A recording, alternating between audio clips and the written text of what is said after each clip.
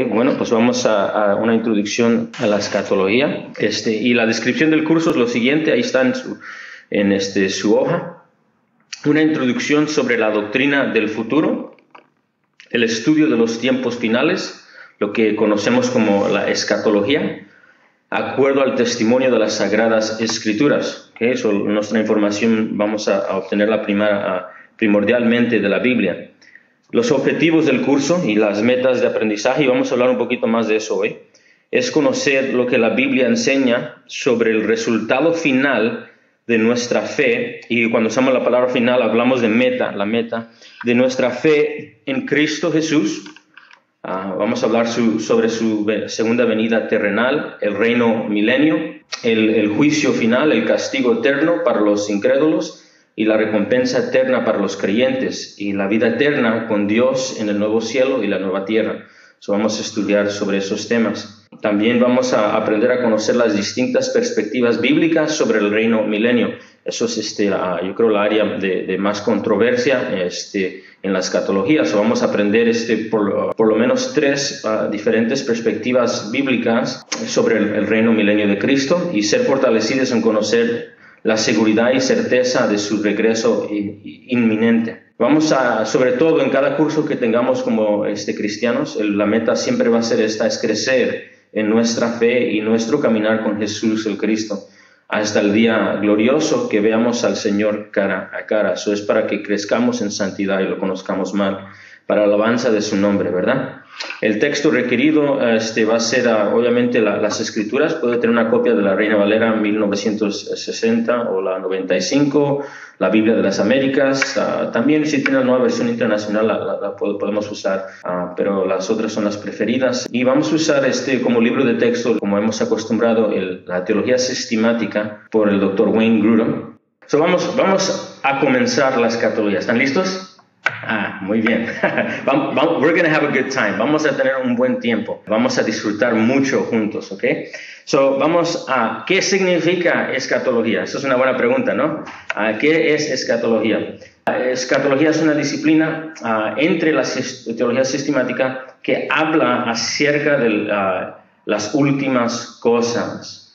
Uh, escatología viene deriva de una palabra griega que es eschatos. Eschatos significa lo último o fin, final. Entonces, escatología es el estudio de las últimas cosas o de las cosas futuras, también se puede conocer así.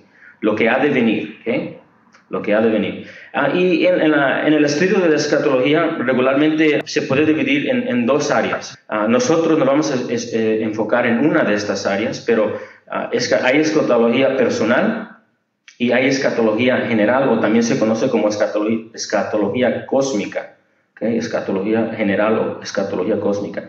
La escatología personal se enfoca en, en, las promesas futuras, las últimas cosas específicamente en un nivel personal. Por ejemplo, eventos futuros que ocurrirán a los individuos sobre la muerte y el estado intermedio, en otras palabras, cuando muera el cristiano hoy, ¿dónde va? ¿Dónde va su espíritu, verdad? Ah, esas preguntas contestadas bíblicamente, esas se van en esa área de escatología personal, ¿verdad? ¿Dónde se va el incrédulo hoy en día, verdad? Esas preguntas ah, son contestadas en la escatología personal.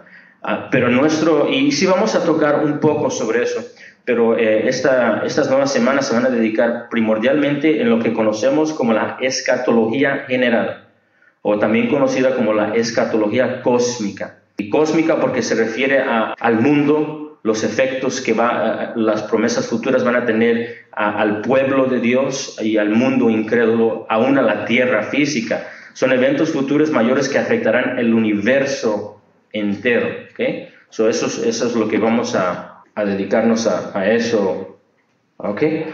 ¿Por qué estudiar la escatología? ¿Por qué estudiar la escatología? Um, les voy a dar unas razones que, que, voy a desear que las anote, porque estas son importantes, porque como vamos a aprender a través del estudio de las últimas cosas, hay gente que, eh, ¿cómo podemos decir?, está obsesionada insaludablemente con la escatología.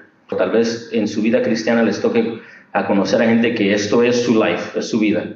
Siempre está hablando y, siempre quiere ver qué es tu punto de vista. Y, está tan saturado con esto que no se enfoca en lo que es primordial. Entonces, ah, ¿por qué estudiar la escatología? Esto es importante, le pido que pongamos atención, lo escriba, tome una foto de la pantalla si, si desea también hacer eso. So, ¿Por qué estudiar la escatología? Primero, porque eh, es, el estudiar la escatología es el estudiar sobre el triunfo de Jesús. Jesús triunfó en la cruz, murió por los pecados de su pueblo, resucitó al tercer día. Hay más que saber. No se ha terminado la historia. Hay promesas que todavía vamos a ver visibles. Ah, eh, la venida del Mesías era promesa cumplida, ¿verdad? Entonces vemos que el quien prometió cumple promesas. Y vemos que cumple promesas porque ha resucitado el Mesías y él también todavía tiene promesas por venir. Entonces, ah, es estudiar sobre el triunfo del Mesías, de Jesús. otra cosa que podemos, ah, ah, ¿por qué contestar en por qué estudiar la escatología? Es porque es contemplar la fidelidad de nuestro Dios.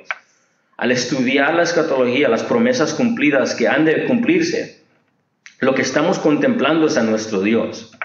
Estamos pensando en Él, estamos viendo todas las profecías que ya se han cumplido y, que resaltan, subrayan la fidelidad de Dios a su palabra. Dios es fiel. Y al estudiar la escatología vemos qué tan fiel es nuestro Dios y va a continuar siendo fiel hacia su pueblo. ¿ok? Ah, otro sería el estudio, ah, es el estudio sobre nuestra esperanza, amados. Esto es extremadamente importante. En la escatología vemos que, ah, ahí están los detalles de lo que esperamos. Esto es importante porque ah, hay hermanos en la fe sufriendo persecución, rechazos. Esto es importante porque vivimos en medio de un mundo de injusticias, un mundo caído. Y cuando veamos estas cosas, la escatología, el estudio de las promesas en Cristo que han de venir y que son seguras, sí, amén, nos da ánimo y nos recuerda de la esperanza. Al final Cristo gana. ¿Verdad? Aprendimos eso el domingo. ¿Se acuerda que estudiamos el, Salmo este, um, 15 eh, que dice que Dios triunfa al final, Dios triunfa sobre el mal, ha triunfado. Entonces la escatología nos, nos enseña eso, nos recuerda eso, nos demuestra eso. Es más, el libro de Apocalipsis fue escrito con ese punto. Él quería animar a la iglesia y ¿qué le dio? ¿Qué le dio una iglesia sufriente? Le dio escatología, le, dio, le recordó todas las promesas. Y, y piensen esto, Daniel, cuando está en Babilonia sufriendo, él y su pueblo, ¿qué le da Dios a Daniel para animarlo? Escatología. Le recuerda de sus esperanzas y él puede mirar el reino venidero, hasta aún ve al Mesías que viene a, gobernar sobre las naciones paganas. Eh, la escatología, el estudio de la escatología es un estudio sobre nuestra esperanza. También es profundizar y adecuadamente compartir nuestra fe en Cristo con otros. Ah, y el creyente y el incrédulo. Ah, amados, eh, como, como creyentes tenemos que conocer lo que creemos. Tristemente, uh, yo lo digo porque yo me recuerdo que tenía mucho miedo de estudiar la escatología. No, es que es mucho, mira esto, hay, hay monstruos en el, en el Apocalipsis, águilas y alas y todo esto, y, y fuego, y, y, yo digo, ok, pero como cristianos tenemos, ¿cómo vamos a compartir nuestra esperanza si no la sabemos? ¿Verdad? ¿Cómo vamos a enseñar y disipular a otros si no conocemos el fin? ¿Ah? ¿Y cómo vamos a advertir al incrédulo si no conocemos el fin? So, el estudio de la escatología significa que vamos a profundizar y adecuadamente conocer las promesas futuras que se cumplen en Jesús y compartirlas con, con otros cristianos y con el incrédulo. Otra, otra razón por qué es importante estudiar la escatología es que es entender las implicaciones del que verdaderamente tiene fe en Cristo y la gloria venidera en Él. Eh, ¿Y qué significa eso? En otras palabras, las promesas futuras tienen implicaciones en nuestra vida de hoy. El cristiano tiene esperanza futura y esa esperanza futura afecta su hoy. Y hay implicaciones, ¿verdad? Este, en, esto. Ah, un ejemplo sería esto. ¿Se acuerda de Noé y el diluvio? Su escatología, eh, las promesas que él tenía sobre un pronto fin en el mundo que él conocía, era que iba a caer un juicio sobre la tierra en forma de lluvia. Muchos no creían. Él creyó. ¿Y cuáles fueron las implicaciones de que él creyó? Agarró un martillo, vamos, ¿verdad? Agarró sus clavos y ¿qué empezó a hacer? A construir la arca. En otras palabras, las esperanzas de, lo que hay que devenir, de un juicio venidero y de la esperanza que tiene el que tiene fe en el Mesías, ah, eso implica que va a haber un estilo muy radical de vida hoy y hay implicaciones. Entonces, al estudiar la escatología, como vamos a ver en el Nuevo Testamento, eso involucra que alguien que realmente cree vive su fe, ¿verdad? Se ve evidente su fe en el Mesías. Se ve, para decirlo de otra manera, tiene un martillo y tiene sus clavos y constantemente está actuando en fe. Otra cosa para observar es eh, por qué es importante estudiar la escatología. Es porque es crecer en santidad en nuestro tiempo terrenal y, y esto está ligado con lo que ya mencioné o ya mencionamos. Es crecer en santidad en nuestro tiempo terrenal. Que vamos a madurar en nuestra fe. Vamos a usar nuestro dinero diferente.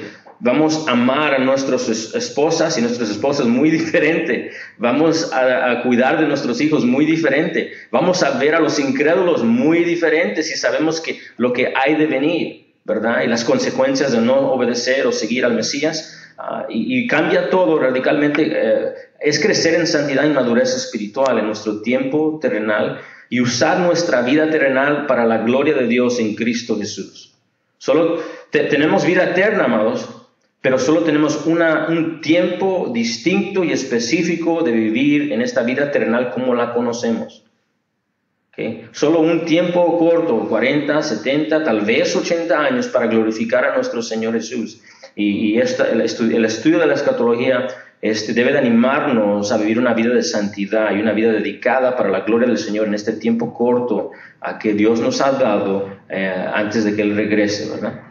Para decirlo de otra manera, me, gusta lo que dice el doctor Martin Lloyd Jones acerca de la perspectiva que tiene el cristiano acerca del futuro. Dice, la diferencia obvia entre el cristiano y el no cristiano. El no cristiano hace todo lo que puede para no pensar en el mundo más allá y sobre todo para evitar pensar en la muerte y en el mundo por venir. Eso es típico de los no cristianos. No hay nada que odie tanto como hablar de la muerte y la eternidad. Es muy cierto, ¿verdad? Sigue diciendo, pero el cristiano, por otro lado, es un hombre que piensa mucho sobre estas cosas y mora sobre ellas, medita en estas cosas. Son grandes principios y factores de control en el conjunto de su vida y perspectiva. Qué muy, cierto es esto, ¿verdad? Antes que éramos creyentes, no pensábamos en la muerte, nos asustaba la muerte. No pensábamos en, esta, la eternidad, eso era algo difícil de captar o aún de querer meditar que tal vez a dónde íbamos a estar. Pero como cristianos tenemos esperanzas y estas esperanzas, ah, como dice el doctor Martin Jones, son algo que los cristianos meditan mucho sobre ellas. Entonces, la, escatología es algo que, debemos de, de, considerar fuertemente y más de considerar, estudiar cuidadosamente.